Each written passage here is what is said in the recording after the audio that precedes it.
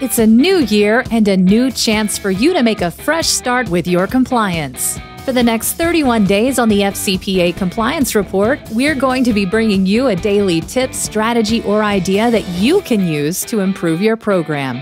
Here's your host, Tom Fox, the Compliance Evangelist. Day 8 Internal Controls and Compliance.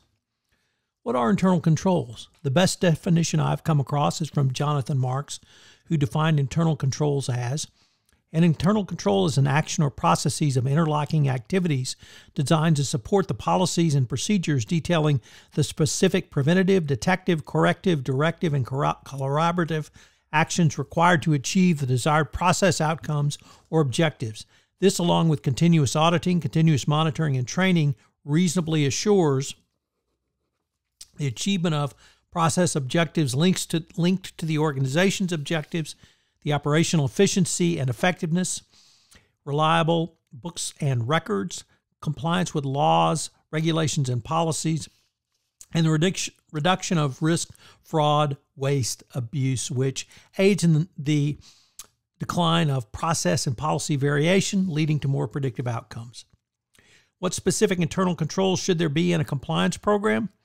Well, they are the foundation of any anti corruption compliance program, and the starting point is the FCPA itself, which requires issuers to devise and maintain a system of internal controls which can reasonably assure number one, that transactions are executed in accordance with management's general or specific authorization. Number two, transactions are recorded necessary necessary to permit preparation of financial statements in conformity with generally accepting accounting principles or other criteria applicable to such statement, and maintain accountability for assets. Three, access to assets is permitted only in accordance with management's general or specific authorization. And four, the recorded accountability for assets is compared with the existing assets at reasonable intervals, and appropriate action is taken with respect to any differences. The DOJ and SEC in the 2012 guidance stated internal controls over financial reporting and the processes by which companies to provide reasonable assurances regarding the reliability of financial reporting and the preparation of financial statements. They include various components such as a control environment that covers the tone set by the organization regarding ethics and integrity, risk assessments, control activities that cover policies and procedures designed to ensure that management directives are carried out, information and communications, and monitoring.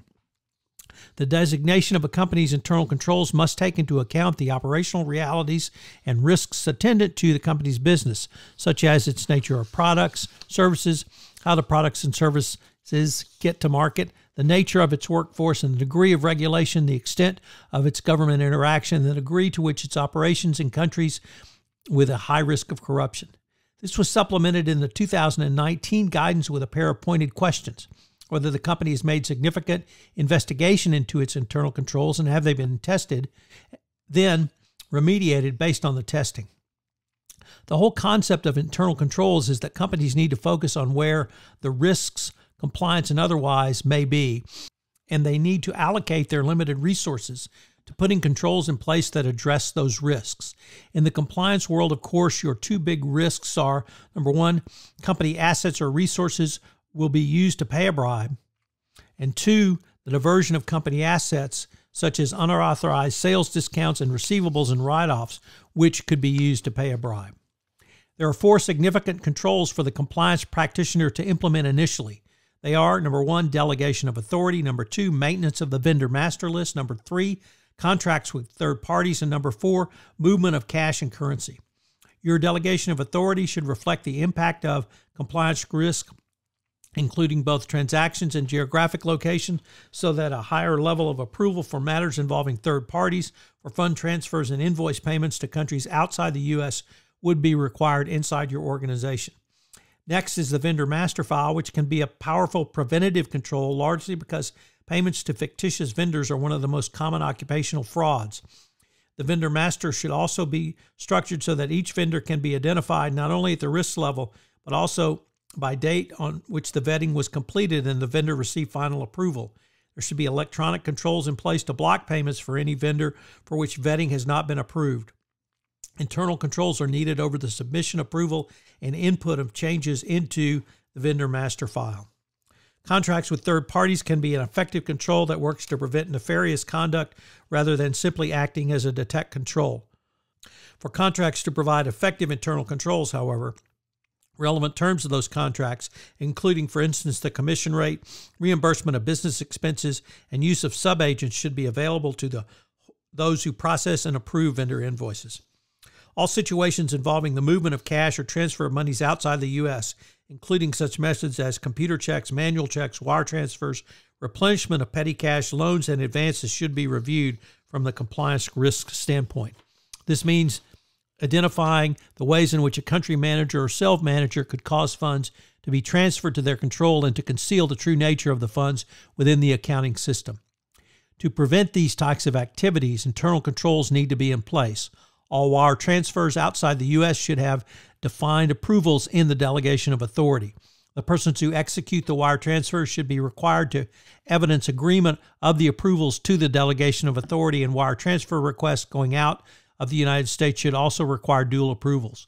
Lastly, wire transfer requests going outside the U.S. should be required to include a description of proper business purpose.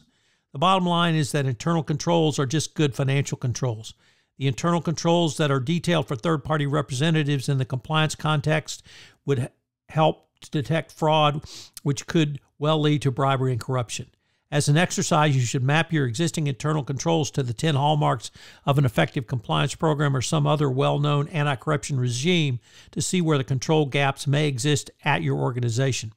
This will help you determine whether adequate compliance internal controls are present in your company. From there, you can move to see if they are working in place. So, what are today's three key takeaways?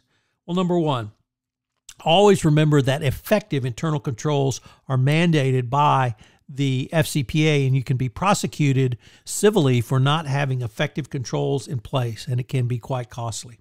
Two, effective, excuse me, internal controls are a critical part of any best practices compliance program, and every compliance practitioner needs to familiarize themselves with your company's internal controls.